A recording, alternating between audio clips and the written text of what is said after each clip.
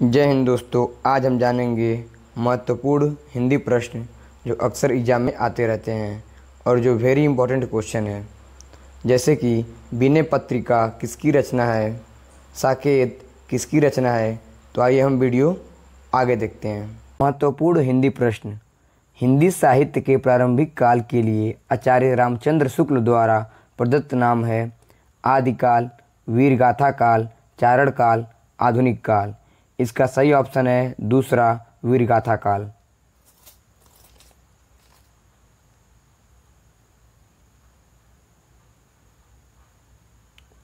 बिहारी लाल किस युग के कवि हैं? आदिकाल भक्ति काल रीतिकाल, आधुनिक काल। इसका सही ऑप्शन है तीसरा रीतिकाल। पृथ्वीराज रासो किसकी रचना है? पृथ्वी सिंह, जगनिक, सूरदास, चंद्रवरदाई। इसका सही ऑप्शन है चौथा चंद्रवरदाई।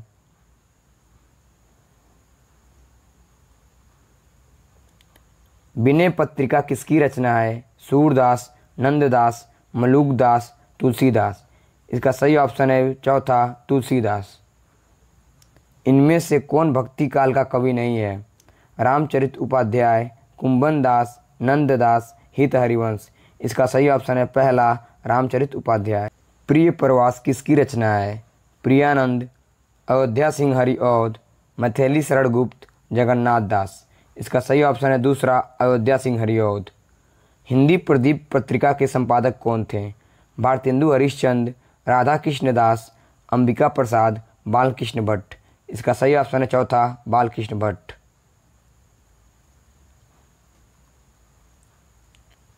प्रेमचंद किस उपन्यास के लेखक हैं? तितली, सेवा सदन, कंकाल, इरावती। इसका सही ऑप्शन है दूसरा, सेवा सदन। इंसा अल्लाह खा की रचना कौन सी है?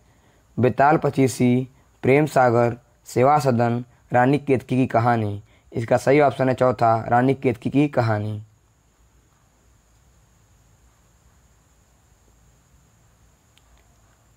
साकेत किसकी रचना है? मैथिली शरण गुप्त सुमित्रानंदन पंत, सूरदास, महादेवी वर्मा।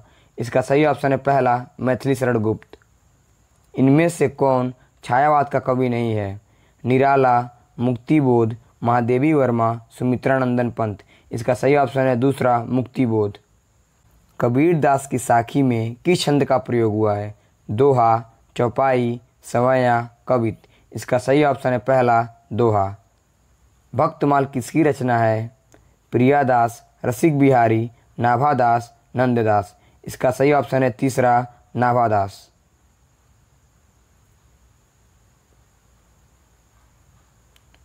मैला आंचल उपन्यास के लेखक कौन है? शेखर जोशी, शिव प्रसाद सिंह, प्रेमचंद फणीश्वर नाथ रेणु इसका सही ऑप्शन है चौथा फणीश्वर नाथ रेणु इनमें से कौन सा हवा का पर्यवाची नहीं है? अनल, अनिल, समीर, पवन।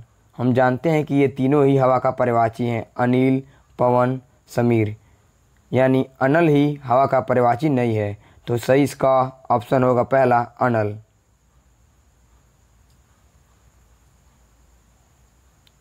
इनमें से मौन का विलोम शब्द कौन सा है?